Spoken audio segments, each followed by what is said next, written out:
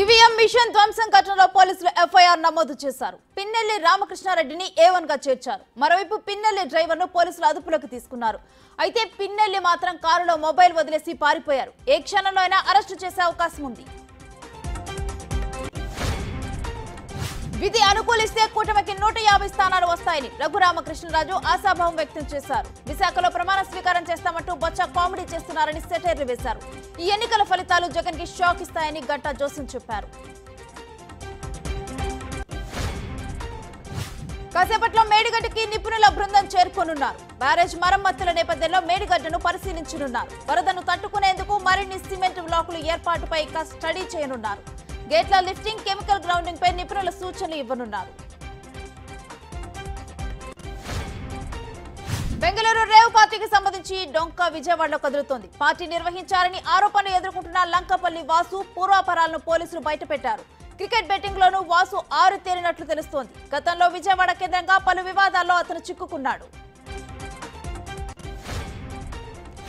Aarogyasri pending బిల్లుల కోసం AP ప్రభుత్వం రెండు వందల మూడు కోట్ల రూపాయలు విడుదల చేసింది. హాస్పిటల్స్కి ప్రభుత్వం పదిహేను వందల కోట్ల రూపాయలు బకాయి పడింది. దీంతో సేవలు నిలిపివేస్తామని హాస్పిటల్ అసోసియేషన్ నిన్న ప్రకటించింది. ఇంతలోనే ప్రభుత్వం కొంతమేర నిధులు విడుదల చేసింది.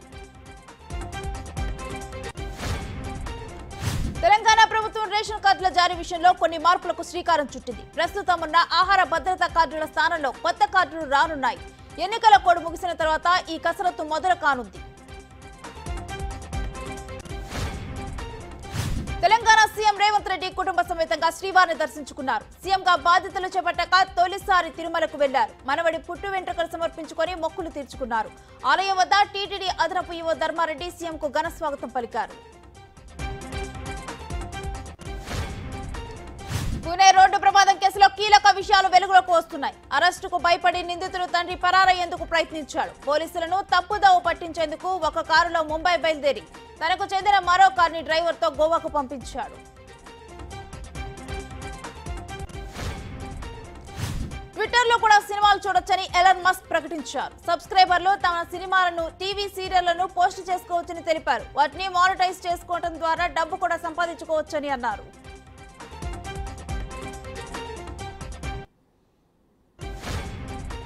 అమెరికాకి చెందిన డ్యూక్ హ్యూమన్ వ్యాక్సిన్ ఇన్స్టిట్యూట్ హెచ్ఐవికి టీకాను తయారు చేసింది. ఈ టీకాపై ట్రయల్స్ నిర్వహించగా రోగుల్లో యాంటీబాడీలు ఉత్పత్తి అయినట్టు తెలుస్తోంది.